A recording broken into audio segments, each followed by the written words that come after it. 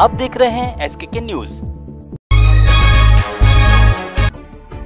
प्रदेश के उप मुख्यमंत्री केशव प्रसाद मौर्य कैराना में सांसद स्वर्गीय हुकुम सिंह को श्रद्धांजलि देने के लिए जाने के दौरान मेरठ पहुँचे, जहाँ उन्होंने मीडिया से बात करते हुए अपनी सरकार की उपलब्धियाँ गिनाई। वहीं पूर्व सरकार पर आरोप लगाते हुए विकास कार्य न कराने की बात भी कही। इस मौके पर उन्होंने राम मंदिर मसले पर कोर्ट के फैसले का स्वागत करने की बात कहते हुए प्रदेश सरकार की इस मामले में कोई भूमिका होने ऐसी इनकार कर दिया। प्रदेश सरकार की मंदिर निर्माण में कोई भूमिका नहीं है। उसमें दो पक्षकार है मामला सर्वोच्च न्यायालय के समझ विचाराधीन है।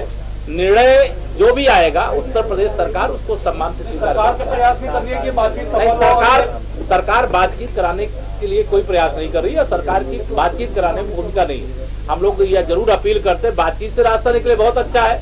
अन्यथा सर्वोच्च न्यायालय के फैसले की जालौन में सपा की कुटौन ब्लॉक प्रमुख के खिलाफ भाजपा समर्थित प्रत्याशी द्वारा अविश्वास प्रस्ताव जारी किया गया। जिसके बाद भाजपाइयों द्वारा बीच सड़क पर जश्न मनाते हुए जमकर फायरिंग की गई, जिससे इलाके में दहशत फैल गई। वहीं जब फायरिंग का वीडियो सोशल मीडिया में वायरल हुआ तो पुलिस प्रशासन ने मामले को संज्ञान में लेकर अज्ञात लोगों के खिलाफ मुकदमा दर्ज कर लिया। साथ ही उनके असलों को निरस्त करने की कार्यवाही भी शुरू कर दी।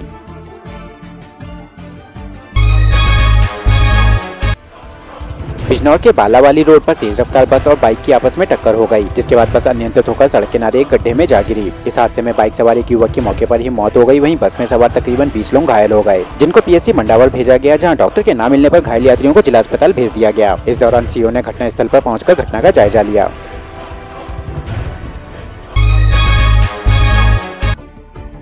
बागपत में एक बेबस माँ पीएम मोदी से आर्थिक सहायता की गुहार लगाती हुई नज़र आई। दरअसल, इस माँ का बेटा किडनी और लीवर की बीमारी से ग्रस्त है, जिसके इलाज के लिए यह माँ अपना सब कुछ बेच चुकी है। उसके बावजूद भी बेटे के इलाज के लिए डॉक्टरों ने 10 लाख रूपए के खर्च की बात कही है, जिस कारण ही महिला ने पीएम ऐसी दस लाख की आर्थिक सहायता की मांग करते हुए मदद न मिलने आरोप अपनी किडनी बेचने की जिला प्रशासन ऐसी अनुमति भी मांगी है।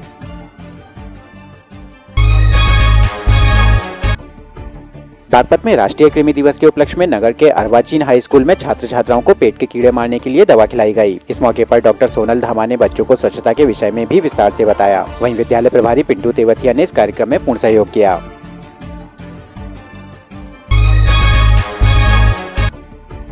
बागपत में वैदिक कन्या डिग्री कॉलेज ने अपना इक्कीसवां वार्षिकोत्सव धूमधाम से मनाया। इस अवसर पर मुख्य अतिथि के रूप में एम एमडीएच मसालों के चेयरमैन धर्मपाल का कॉलेज की प्रबंध समिति द्वारा भव्य स्वागत किया गया। वहीं कार्यक्रम में माँ सरस्वती की वंदना के बाद कई सांस्कृतिक कार्यक्रम भी पेश किए गए।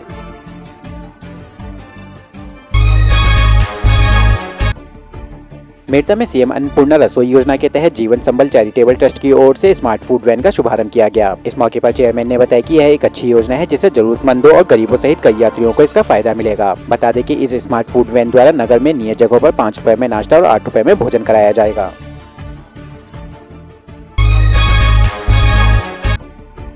गिरडी में अवस्थित बाबा झारखंड धाम मंदिर में एक मेले का आयोजन किया गया, जहाँ कोडरमा सांसद और जमुआ विधायक ने बाबा भोलेनाथ की पूजा अर्चना कर मेले का उद्घाटन किया। वहीं मेले में आए भक्तों में शिवरात्रि के मौके पर बाबा भोलेनाथ और माँ पार्वती के विवाह बंधन के मंचन को देखने के लिए खासा उत्साह देखा गया। इस मौके आरोप सांसद ने जानकारी देते हुए बताया की झारखण्ड प्रदेश का नाम इसी मंदिर के नाम आरोप रखा गया है।